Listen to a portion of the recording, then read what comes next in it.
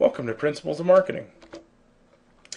This course serves an introduction to marketing. It's a starting point for advanced marketing courses and is a component in your overall business education. The course is eight weeks in length, which means that it's accelerated, moves approximately twice as fast as a normal semester-based course. In this course, we're going to explore many marketing concepts, but we're going to place a heavy emphasis on learning introductory marketing concepts, creating your first marketing plan, and creating your first marketing materials, which will consist of a web page, an online text-based ad, an online print ad, and either a podcast or a video ad or a vodcast. The course format is eight weeks in length. In other words, it's accelerated. Each week is one unit. So unit one would be week one, unit two, week two, so on and so forth. You're going to create a marketing plan which is completed during the first half of the course and submitted at the end of Unit 5. In the second half of the course, you're going to focus on creating marketing materials. You'll have an online text ad due during Unit 5, an online print ad in Unit 6, a web page in Unit 7, and a podcast or a vodcast or video ad in Unit 8. There are two team assignments. In these team assignments, you'll get together with your team members and complete activities in the assigned text chapters.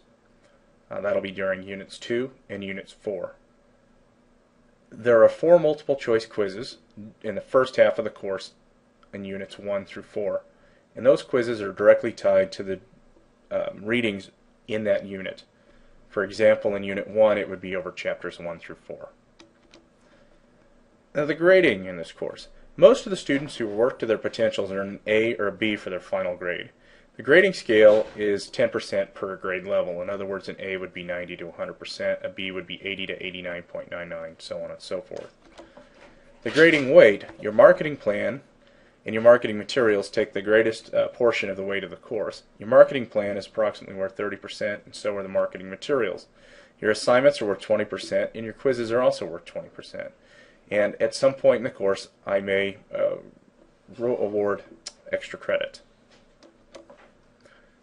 The thing to remember with grading is that this course moves very quickly, which means that we don't have time to go back and make up uh, old assignments.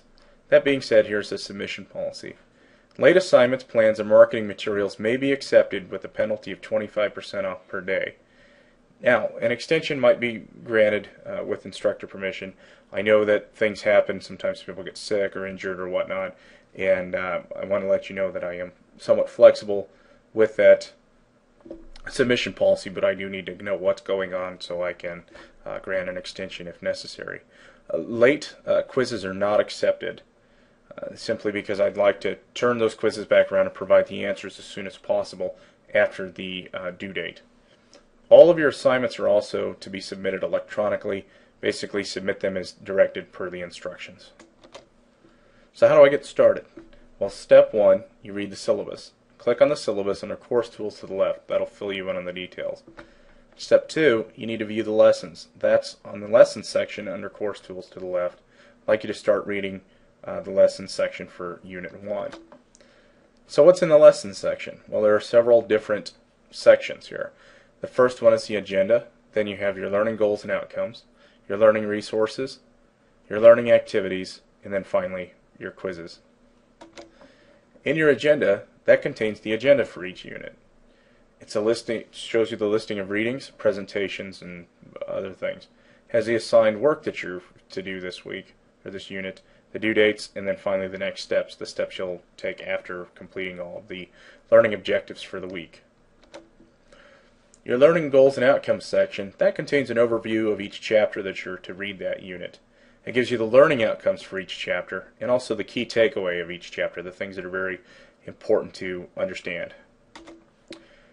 The Learning Resources section contains information about what your readings are, any uh, listing of videos, PowerPoint presentations, and any other pertinent resources for the unit. For example, it could be a link to a website that I'd like you to read or something like that.